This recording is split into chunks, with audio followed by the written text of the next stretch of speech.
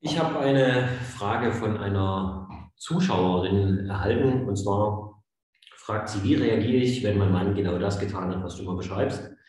Auf einmal war er unzufrieden und hat die Schuld in der Familie bzw. in der Partnerschaft gesucht. Er ist vor zwei Jahren ausgezogen, hat aber immer irgendwie den Kontakt gehalten und nachdem die Schmerzen halbwegs überwunden wurden, versucht er nun zurück in die Familie zu kommen. Die Frage, kann man sowas verzeihen und geht sowas gut?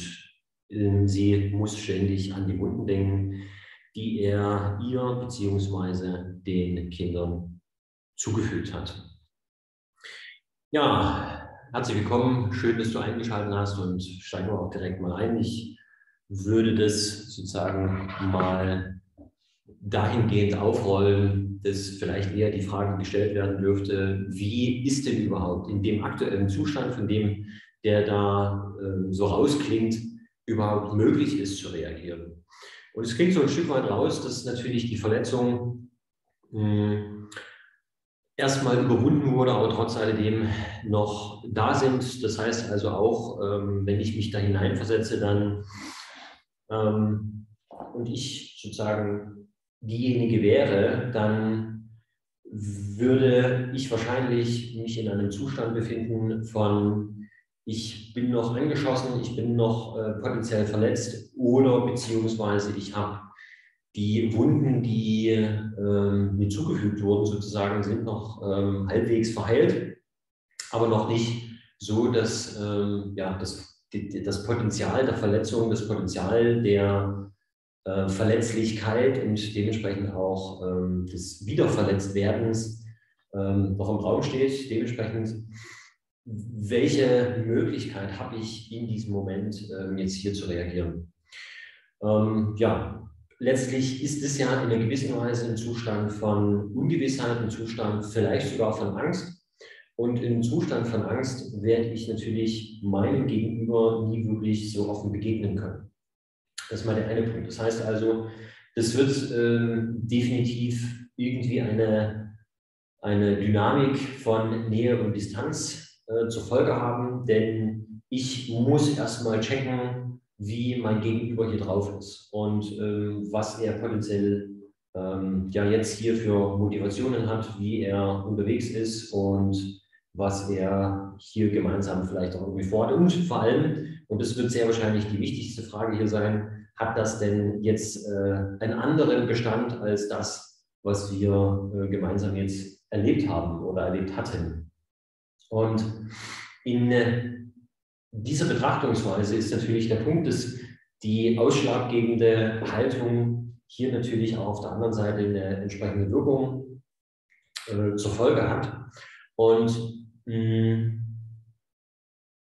die Frage also, kann man sowas verzeihen, natürlich nur dann möglich ist, wenn hier wirklich ein, ein, ein, eine Heilung stattgefunden hat, eine, ähm, ja, ein, ein Frieden stattgefunden hat und vielleicht sogar ein gewisses Verständnis dafür stattgefunden hat, was auf der anderen Seite möglicherweise da passiert ist. Hilfreich wäre natürlich, wenn ähm, ich jetzt hier der Partner wäre, dass ich meine Unzufriedenheit in mir selbst geklärt habe, dass ich den Prozess auch in irgendeiner Art und Weise in mir geklärt habe und ich den, die, die, die, die Basis von Zufriedenheit in mir idealerweise etabliert habe.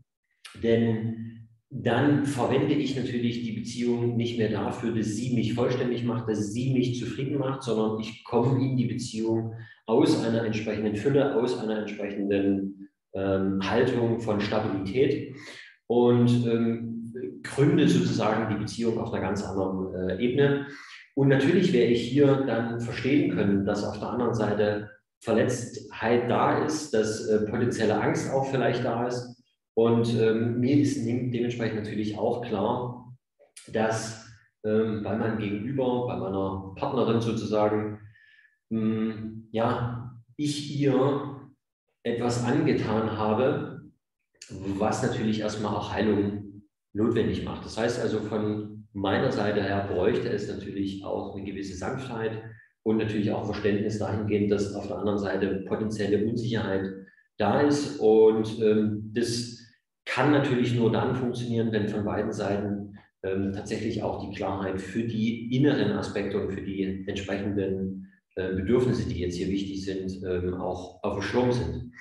Ähm, das Ganze kann dann nicht funktionieren, wenn hier aus dieser Dynamik eine potenzielle Opfer-Täter-Dynamik entsteht. Das heißt also, ich äh, bin hier die verletzte und ähm, ja, betroffene Person, die in dem Moment natürlich hier mit einem mangelnden Vertrauen in auch die Partnerschaft, in, den, in mein Gegenüber unterwegs sein wird.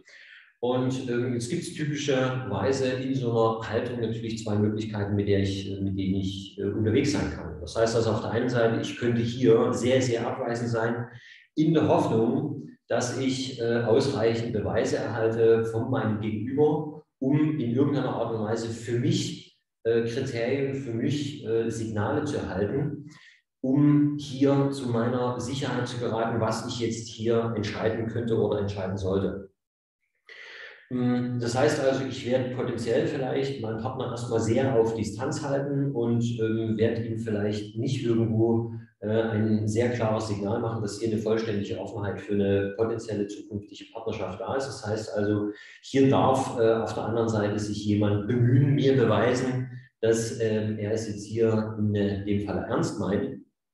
Und das könnte natürlich zu so einer Dynamik führen, wenn hier tatsächlich jemand eben nicht in seiner äh, Stabilität, in seiner Fülle steht, dass äh, er natürlich hier in einem Mangel potenziell angetriggert ist und erst recht natürlich äh, sehr engagiert ist, um sozusagen sich innerhalb der Beziehung zu beweisen.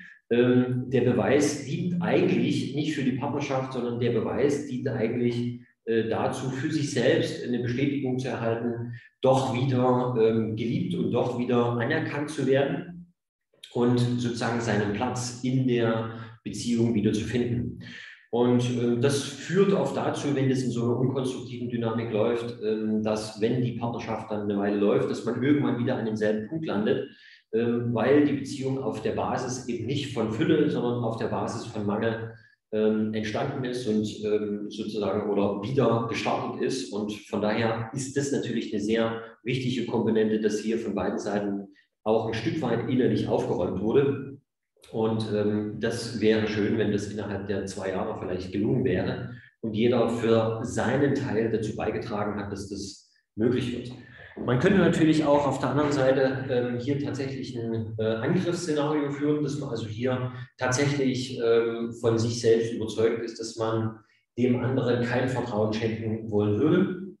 Ähm, und dementsprechend grundsätzlich sagt, nein, ähm, ich lehne das hier komplett ab.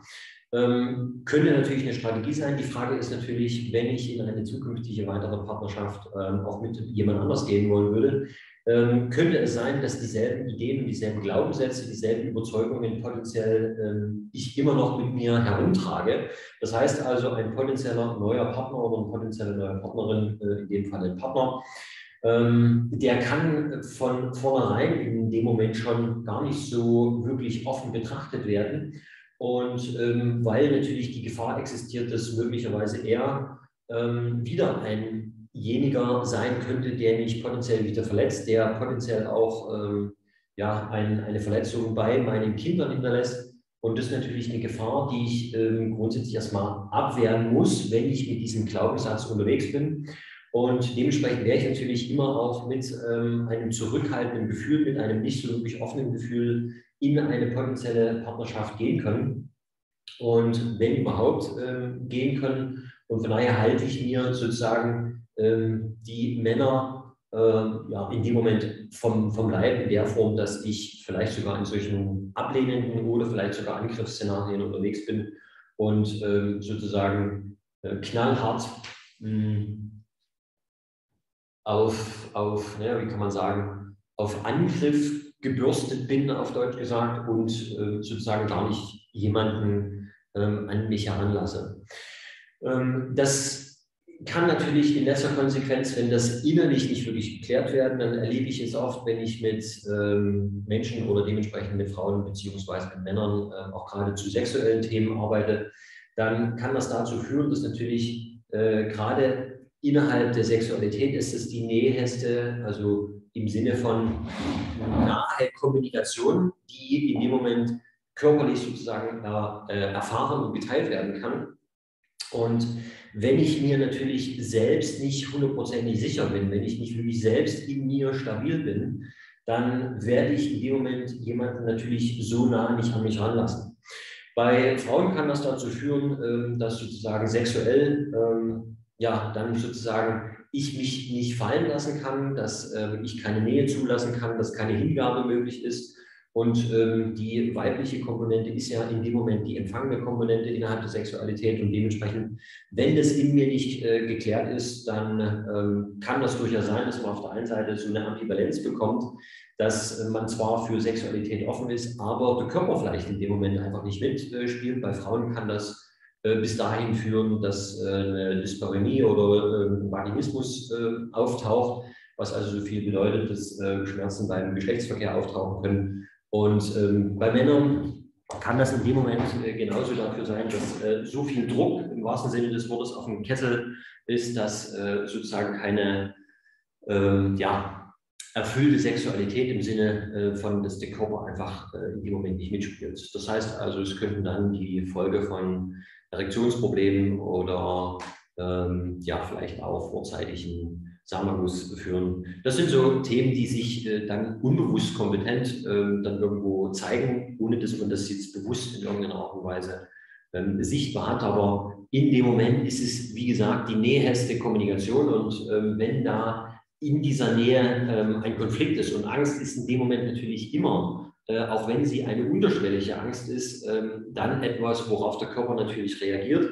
Ähm, das heißt also, freiwillig begibt sich das eigene System natürlich nie in eine so nahe, ähm, in einen so nahen Kontakt, der für mich potenziell aber eine Gefahr bedeuten könnte.